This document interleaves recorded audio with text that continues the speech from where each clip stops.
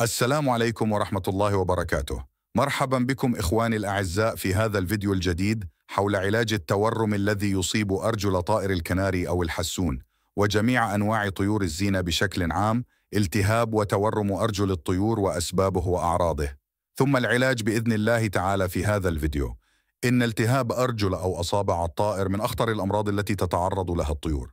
ولعل السبب من دون شك راجع لعدم نظافة أرضية القفص مما يسبب التصاق بعض بقايا البراز أو الأوساخ. أجلكم الله في أظافر الطائر ومن ثم تتكون فطريات على شكل قشور كما هو موضحا لكم في هذه الصورة. وهذه القشور تغطي الأرجل بشكل تدريجي حتى تسبب للطائر قلة الحركة داخل القفص وعدم قدرته على الوقوف بشكل جيد خصوصا فوق المجثم.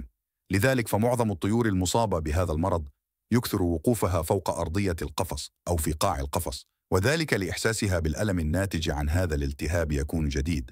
بمعنى إصابة الطائر حديثا وهذا النوع يكون سهل علاجه ويمكنك فقط استعمال زيت الزيتون الطبيعي ودهن القدمين والأصابع مرة في اليوم حتى يتماثل الطائر للشفاء بإذن الله تعالى.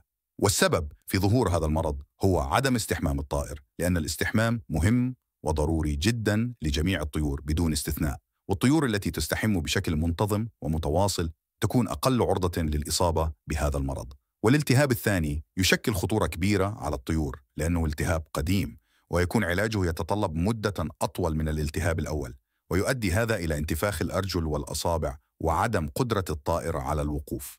نوعان من الالتهاب والالتهاب الأول وإذا لم يتم تقديم العلاج المناسب بسرعة فالنتيجة تكون هي موت الطائر لا قدر الله. ويفضل استعمال مرهم فوسيدين ودهن المناطق المصابة يوميا حتى يشفى الطائر ولكن يجب الحذر مع إزالة القشور المحيطة بالأرجل لأن بعد استعمال المرهم قد تجد بعض القشور أوشكت على السقوط.